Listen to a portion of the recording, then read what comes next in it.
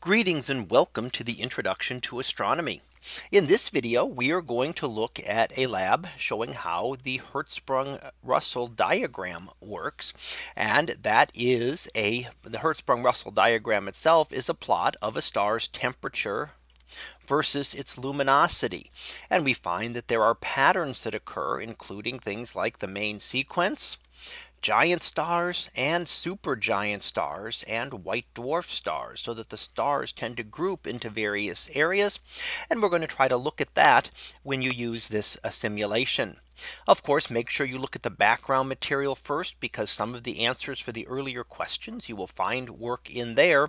And if you jump right to the uh, the simulator, you're going to miss out on that. So let's go ahead and take a look at the simulator, which is what I want to do here.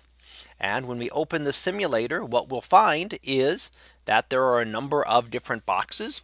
Here we're looking at sizes of stars compared to the sun. So the star will be here and our sun will be here for reference.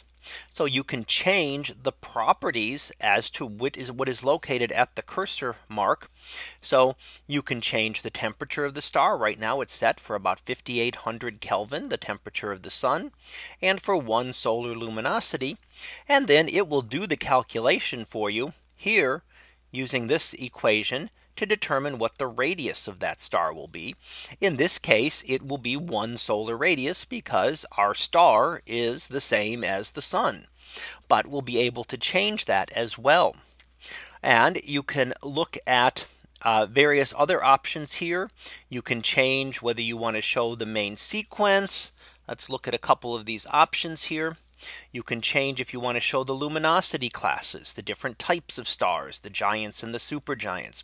You can show what is called the instability strip where stars are not stable and we get lots of uh, variable stars there. You can also look at some of the stars that you're plotting. You can plot just the nearest stars. Let's turn off a couple of these just to make it a little easier. So these are the nearest stars to the sun. Or you can plot the brightest stars, which are these. Uh, so you can see that there's quite a difference between those. And you can also plot them both together to really see the differences. And if you look for the overlap, you'll see that there isn't very much between them, just a few stars. So you will have to look at those and it'll give you some understanding of the different types of stars that we see. Now looking at the other controls here, as you change the temperature, and let's go ahead and turn this off. But as we change, for example, the temperature, if we make a star hotter, and we leave the luminosity the same. Remember, we're changing only one thing at a time. So we're changing the temperature, which means we move to the left. So this star is no longer a star that is on the main sequence. It is actually off and below the main sequence.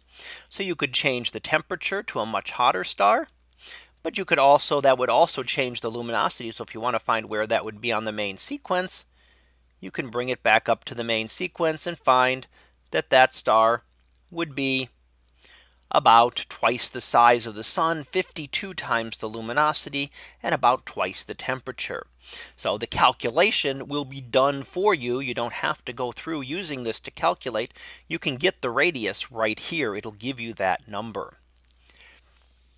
Now you can also, if you like, take the cursor and drag it around. So if you want to look at other regions, if you want to see what stars are like down here on the main sequence, you don't have to try changing things.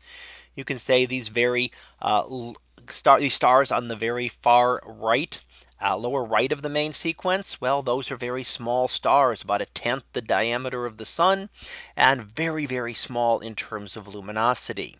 If we put our luminosity classes back on, you can then drag that cursor. And what is a giant star like?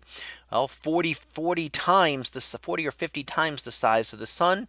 And a supergiant star, as you go up into the upper corner here, can be thousands of times the diameter of the sun.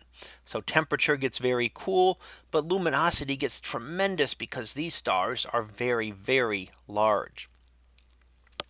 So you can play around with that and it will ask you a number of questions about the different types of stars that you see at various locations on the main sequence and at various locations on the HR diagram itself. So you can go ahead. So you, you'll get to go ahead and change a number of those things. But that's a little bit about how the controls work on this simulation. So that concludes this uh, video on using the Hertzsprung Russell diagram simulator. We'll be back again next time to look at another one of these demos. So until then, have a great day, everyone, and I will see you in class.